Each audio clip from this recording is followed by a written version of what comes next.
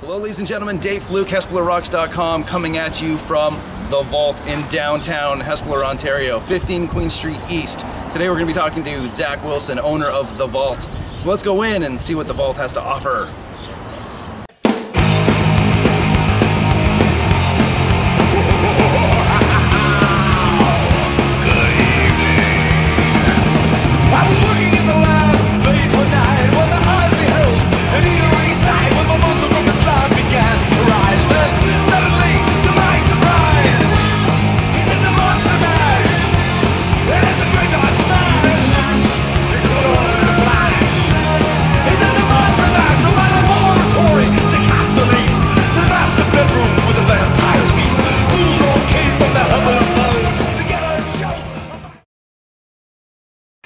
Welcome to the Vault. Uh, my name's Zack. I own the Vault. Everything horror, you know, you can find here and stuff. I grew up with horror, surrounded by horror, and uh, that's what I've done with my life. Is decided to make it into a store and, and allow other people to come into it and find some some treasures and things like that. You know, uh, we deal uh, with a lot of stuff. You know, uh, we got lots of posters, original posters. We like a lot of the original stuff. Of course, we sell reprints as well. Um, but original is, is where collectors like to be and stuff. The ones that were taken out of old theaters and stuff like that. Uh, so any kind of any kind of you know childhood movie that you that you ever enjoyed, we can get it in. You know, either uh, in a reprint or an original.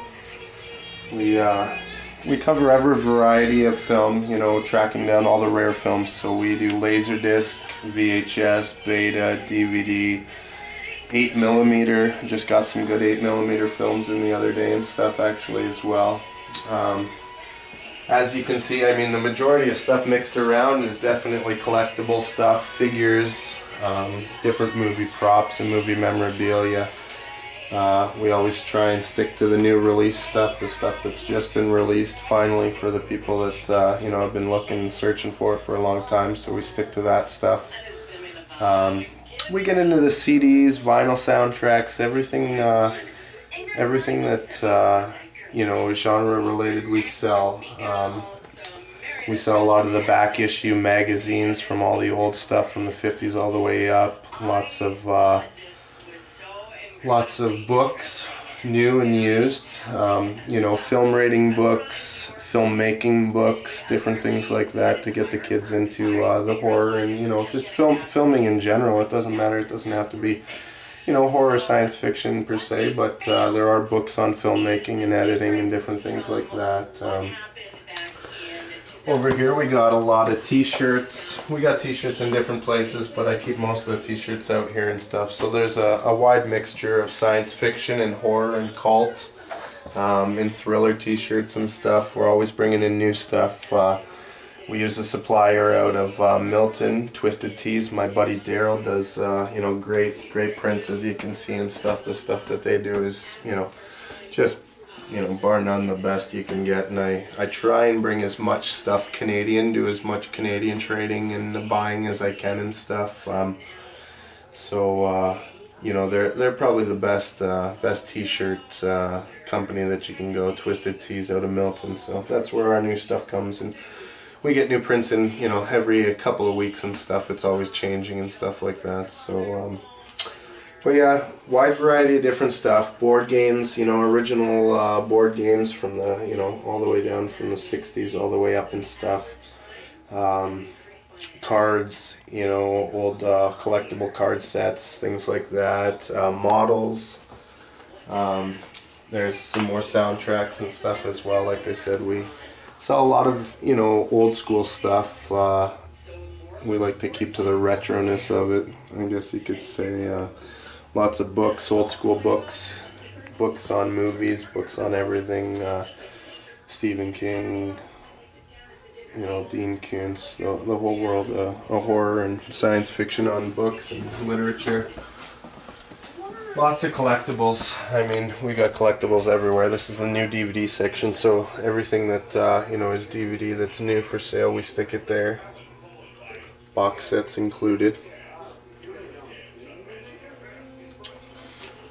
This section here is all for uh, VHS and stuff. The, the majority of stuff that we sell is a lot of the rare movies that have yet to be put onto DVD, might not get put onto DVD, those lost films. So we have collectors come from all over Ontario purchasing those and stuff, looking for those old, uh, you know, favorites from when they were a kid and stuff. And as well, we also do the uh, VHS rental, which is probably, you know, I think my buddy Lewis at Suspect Video in Toronto does a little bit of VHS rental. I'm not 100% sure, but I'd like to think that we're the last people in Ontario who still rent out uh, the rare VHS. There's just uh, there's nobody really left. Uh, a little bit a little bit in Kitchener, I think, at one of the places far out Flicks, I believe, does a little bit of uh, the VHS renting, but uh, nobody like us. The collection that we have and the, the stuff that we bring in uh, doesn't come close to what anybody else uh, can can get their hands on. So that's why we have the people that come from where they come, you know, to get to acquire the stuff that we have.